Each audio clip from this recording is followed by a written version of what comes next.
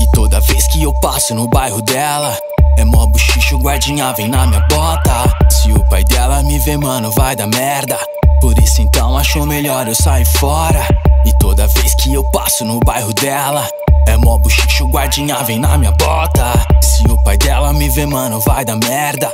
Por isso então acho melhor eu sair fora Tipo um Romeu de Juliette, o pai dela não me desce. Que é um engomadinho, parceiro, então esquece. A tua filha me ama e você me odeia. Já ela me quer na cama e você na cadeia. Favelado na sua casa, nunca entra, fala mal, é só expor. Esse povo aqui não é bem-vindo.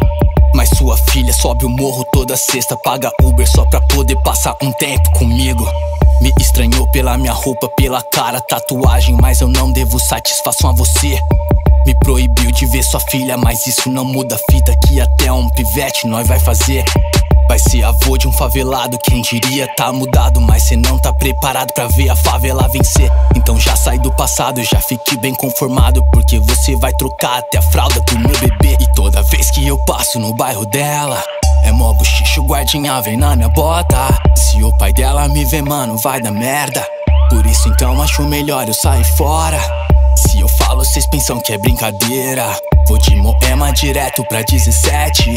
Vamos fugir, minha princesa Julieta. Vem aqui pro seu Romeu de Juliette. Não conhece a minha história, nem a minha caminhada. Pra ele sou mais um fudido que mora na Vila Clara. Mas não posso fazer nada. Sou mesmo da quebrada, mas no final sou o fudido que a sua filha casa. Toda vez que eu passo no bairro dela. Mó buchicho, guardinha vem na minha bota. Se o pai dela me vê, mano, vai dar merda. Por isso então acho melhor eu sair fora. Se eu falo, cês pensam que é brincadeira. Vou de Moema direto pra 17 Essa história não é Romeu e Julieta. Essa história é do Romeu de Juliette